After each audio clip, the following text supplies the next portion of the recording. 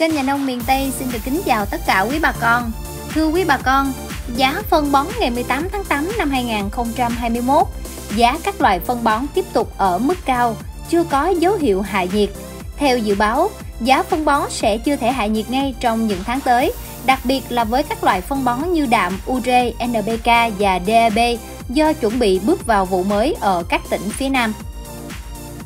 Giá phân bón ở khu vực Tây Nam Bộ Phân ure Cà Mau 600 đến 640 000 đồng, Phú Mỹ 610 đến 640 000 đồng, Ninh Bình 590 000 đến 610 000 đồng, Trung Quốc 530 000 đến 560 000 đồng.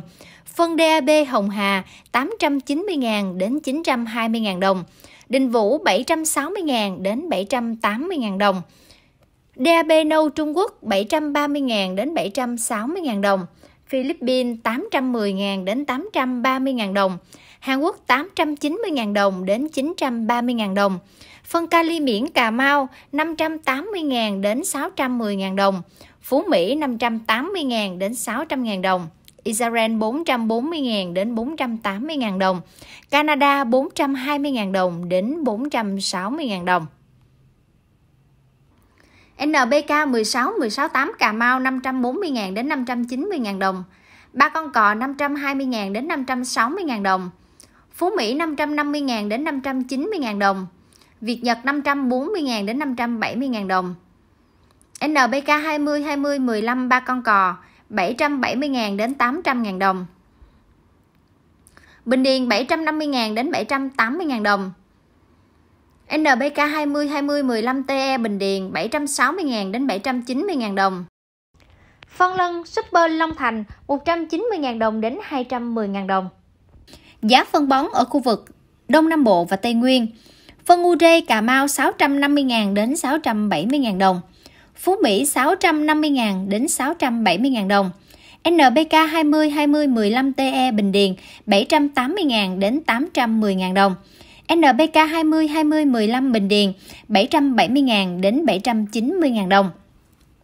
Phân lân, Văn Điển 200.000 đến 210.000 đồng. NBK 16 16 8 Cà Mau 600.000 đến 630.000 đồng. Phú Mỹ 620.000 đến 650.000 đồng.